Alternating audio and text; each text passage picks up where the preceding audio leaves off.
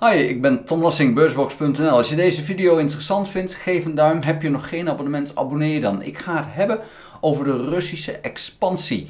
En dan wel in de Baltische Zee. Gisteren kwam er een rapport online, een Russisch rapport, overheidsrapport.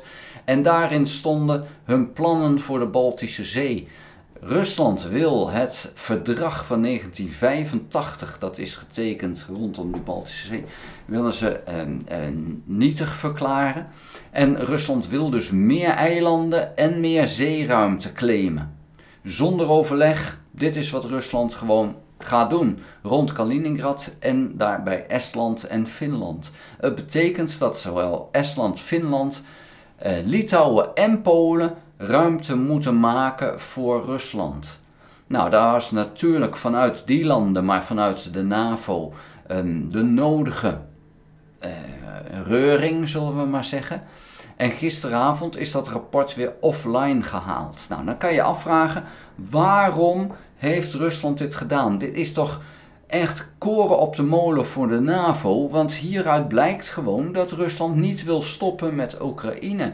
Het wil door, het wil in de Baltische Zee meer, het wil overal wil het meer. Dus dit is precies wat de NAVO nodig heeft om te zeggen van ja, we moeten Oekraïne meer steunen. Dus waarom ga je dan als Rusland zo'n rapport online zetten? Wat zit daar dan achter? Als het is om te provoceren, dan ben je niet goed bij je hoofd. Want dit is precies wat Rusland niet moet doen in feite. Want in Estland, in Finland, in Litouwen en in Polen weten ze nu van, oh oké, wij zijn in feite ook al in oorlog met Rusland, want ons gebied wordt ook aangetast. Ook wij zullen eilanden moeten inleveren, minstens als Rusland dit doorzet. Dus ja, ik zie niet in wat hier nu slim aan is. En Poetin stond vroeger bekend als een, een slimme strateeg. Nou, dat is dan heel lang geleden, want dat is hij nu pertinent niet. Hele domme zet.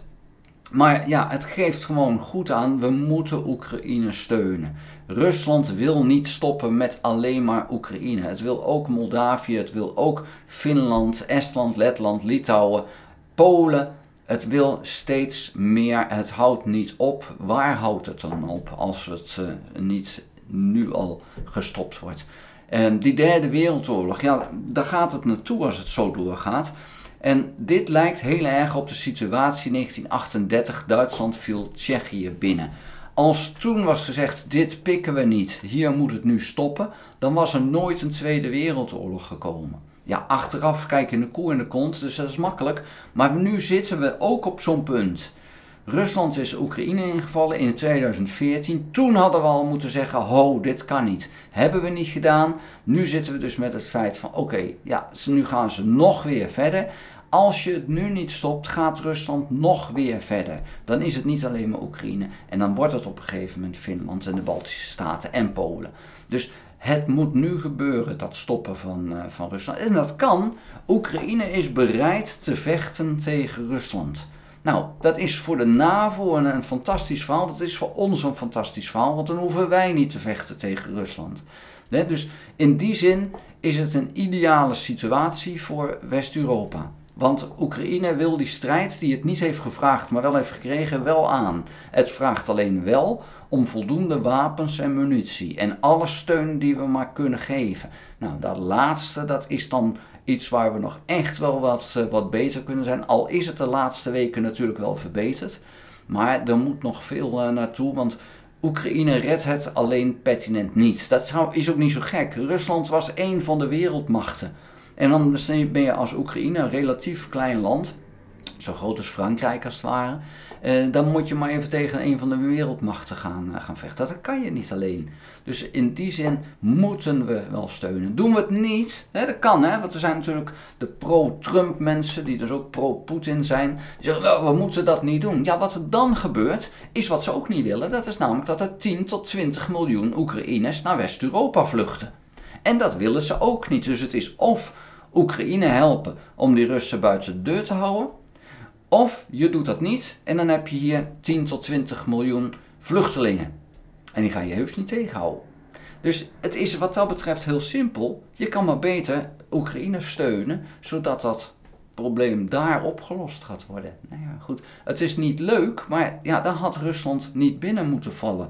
Dat was de fout die Rusland heeft gemaakt. Daar zitten we nu mee. Rusland kan het per direct oplossen. Door te zeggen: oké, we stoppen ermee.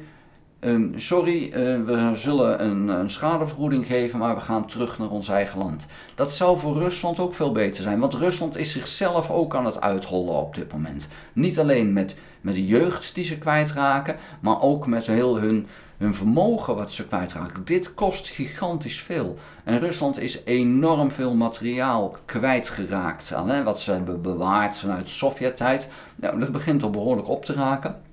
En al het nieuwe materieel wat ze maken kost gewoon gigantisch veel geld.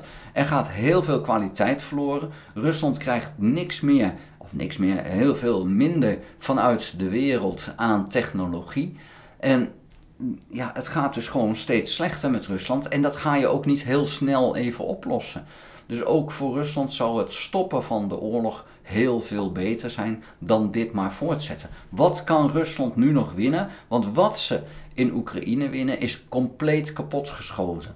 Daar wonen geen mensen meer. Er zijn die delen waar ze dus zo zwaar hebben gevochten, waar de steden volledig vernietigd zijn, daar, daar woont bijna niemand meer. En wat ze nu proberen is dus Russen vanuit Rusland naar die bezette gebieden te sturen. Want in die bezette gebieden raken de Oekraïners echt op. Ook in die delen waar niet gevochten is, omdat ze zo snel die zaak uh, veroverden in 2022. Alle mannen moeten, als ze daartoe in staat zijn, in Russische dienst. Die moeten dat leger in en die komen dan in die zetstormstroepen. En dat houdt dus in dat heel veel van die Oekraïense mannen uit de bezette gebieden al omgekomen zijn of gewond zijn geraakt. En ook dat dus is er een van de problemen die je daar hebt. Je hebt dan als Rusland zijnde een deel van Oekraïne veroverd, maar de bevolking is daar ja, deels verdwenen, die is gevlucht of omgekomen of te oud of te jong. Uh, maar er wonen weinig mensen meer in, in die bezette gebieden, uh, gebieden van Rusland. Als je dat vergelijkt met voor de oorlog, dan is daar een ontvolking geweest waar je u tegen zegt. En de mensen die er nog steeds zitten, die zijn daar niet tevreden. Laat dat duidelijk zijn. Het is echt niet meer zo dat ze daar massaal staan te juichen. Oh, we zijn we blij met de Russen. Er zijn mensen die zijn blij, want die zien nu hun kans. Die zien, oh, nou, dat hadden wij ook in de oorlog. NSB'ers, die zagen ook hun kans. Er zijn altijd mensen die zien hier een kans in. Maar de meeste mensen in bezette gebieden van uh, Oekraïne zijn niet blij met deze oorlog en niet blij met de Russische overheersing daar. Ook de Russisch sprekenden.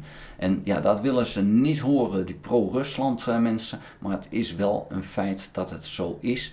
En dat blijkt al uit het feit dat er zoveel weerstand is. Dat er aanslagen kunnen worden gepleegd en dat daar bijna nooit iemand op wordt gepakt, omdat ze gewoon geholpen worden door de lokale bevolking. Nou, dan wil ik het voor nu bij houden. Vond je de video interessant? Geef een duim. Heb je nog geen abonnement op dit kanaal? Abonneer je dan. Druk dan ook op het belletje als je ingelogd bent bij mijn YouTube. Dan krijg je notificatie als ik een volgende video gemaakt heb. Ga ook naar www.beursbox.nl. Schrijf daarin op de gratis nieuwsbrief. Dank voor het kijken. Tot de volgende keer. Houdoe!